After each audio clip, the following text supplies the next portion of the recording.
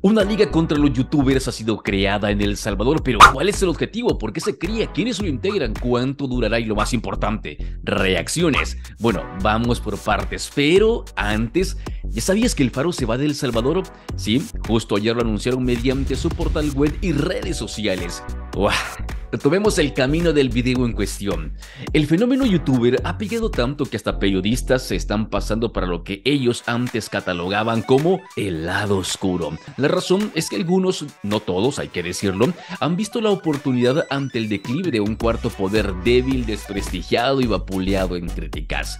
El filtro, como ha sido denominado, fue lanzado el 12 de abril. Está integrado por varios medios de comunicación que se han jurado como jueces de la verdad.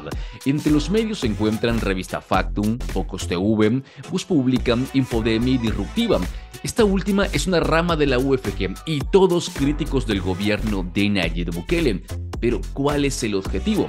Bueno, según un documento publicado y cito textualmente, el filtro es la primera colaboración de medios digitales para contrarrestar la desinformación en El Salvador mediante investigaciones periodísticas que permiten explicar quiénes están detrás de los contenidos de desinformación y cuáles son los impactos que generan en la ciudadanía.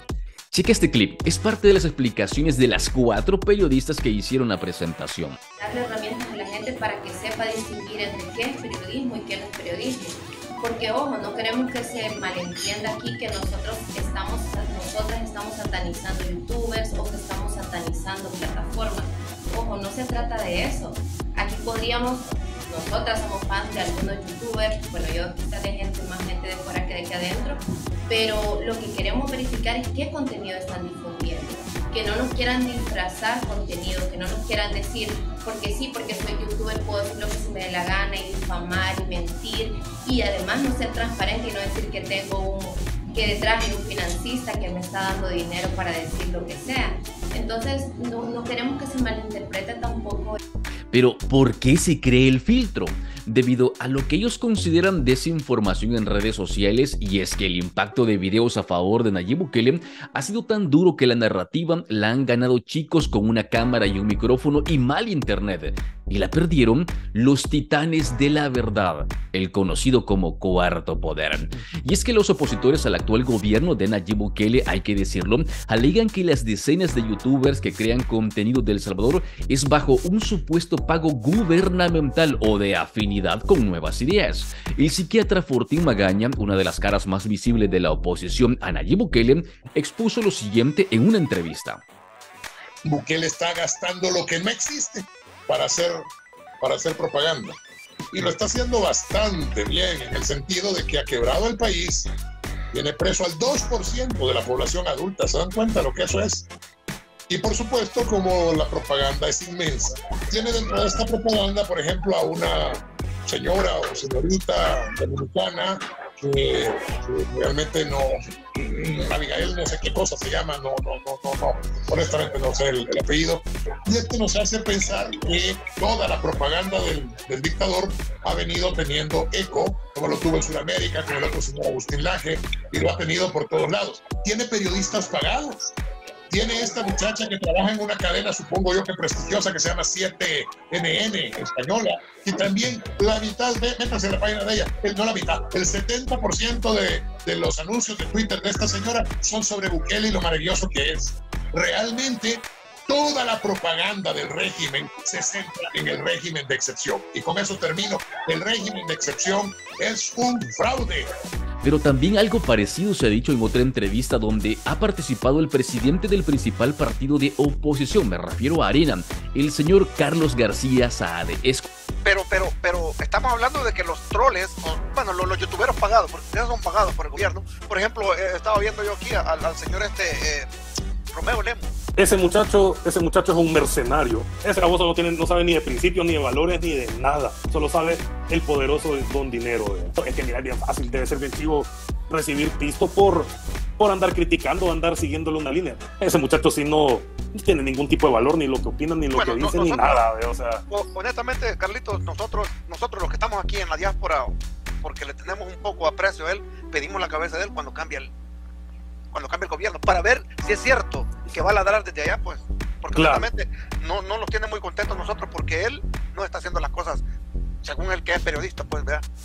Eh, este, entonces Romeo ha trabajado en todas partes mientras le pagan, ahí va a estar feliz moviendo la colita. E, esa es toda la cosa. Pero mira, yo creo que hay que preguntarle, si ha cometido un delito hay que enjuiciarlo. Yo no digo que hay que hacerlo, pues yo, yo a Romeo, mira, yo, yo le diría que tuviera cuidado. Pues. Ah, primero, ¿hay presidentes presos? Que no puede ir preso este también. Aclaración importante. Hasta ahora no han presentado pruebas de supuestos pagos, solo hay acusaciones y señalamientos por parte de opositores al actual gobierno de Bukele. Pero, ¿qué piensan algunos salvadoreños al preguntarles sobre el periodismo y los youtubers? Veamos. Los youtuberos son mejores periodistas. ¿Por qué? Porque están en la, en la carne viva del problema no están de que te vamos a pagar porque vas a decir todo esto. No, lo dicen descaradamente y lo dicen como se debe. Por eso, como les digo, esta gente de la oposición, que ya dejen de tantas payasadas, hombre. Que ya dejen de tanto, de tanto querer engañar al pueblo cuando ya no pueden engañar a nadie. Tal vez desde sus casas, gracias a ustedes, gracias a ustedes los youtuberos, el pueblo ha despertado ese periodismo que esto, Canal 2, todos esos canales eran farsas, ya los tenían dormidos, ¿me entiende? Entonces, gracias a ustedes, el, gracias a ustedes, el gobierno, nosotros despertamos viendo la realidad, lo que se, lo, lo vivíamos, pero no podemos hablarlo, no se comunicaba. Ahora ya sí se puede ver todo esto. Ah, por cierto, ¿recuerdas que al inicio te hablé del Faro? Pues justo el 3 de abril publicaron este artículo que tiene el siguiente título. Los creyentes de YouTube pierden la fe en el periodismo. Ahí el periodista William Carballo relata cómo en Estados Unidos se topó con un hombre que le dijo que creía más en los youtubers que en su propio gremio.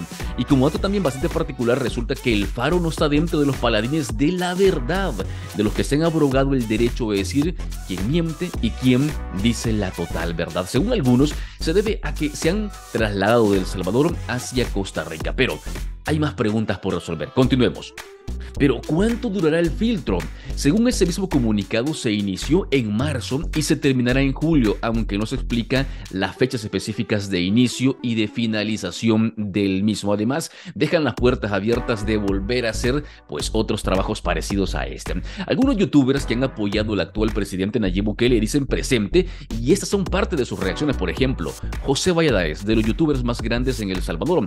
Lo chistoso es que, y aquí etiqueta una periodista, dice que los youtubers no deben mentir y ella miente asegurando que hay financistas detrás de nosotros y sin pruebas. ¿Estos son la autoridad de la verdad? Pregunta de José Valladares. También de un solo. ¿Qué tal esto?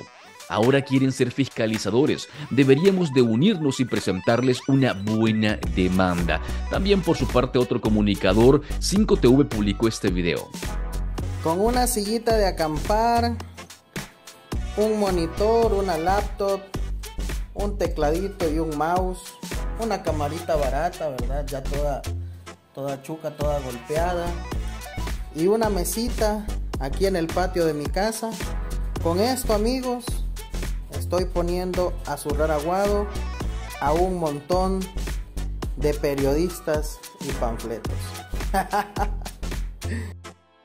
Durante 25 años, el Faro ha operado administrativamente bajo la propiedad de la empresa salvadoreña Trípode SADCV, con la que nació.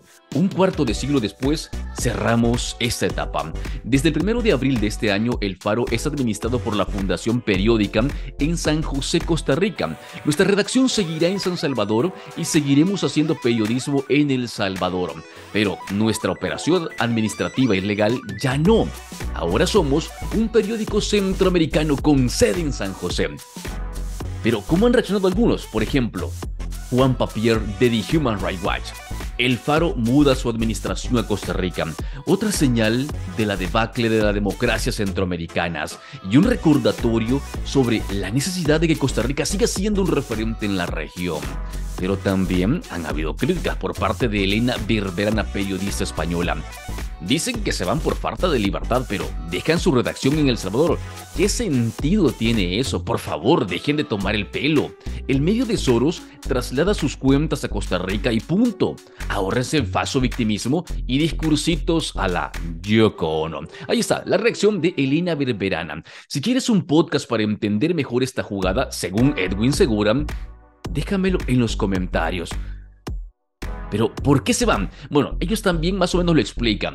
El desmantelamiento de nuestra democracia, la falta de controles al ejercicio del poder de un pequeño grupo, los ataques a la libertad de prensa y el cierre de todo mecanismo de transparencia y rendición de cuentas en El Salvador amenazan seriamente el derecho ciudadano a estar informado. ¿Y tú a quién escuchas o lees? Pues dínoslo por favor en la caja de comentarios. Además, rola este contenido y nos vemos en la próxima.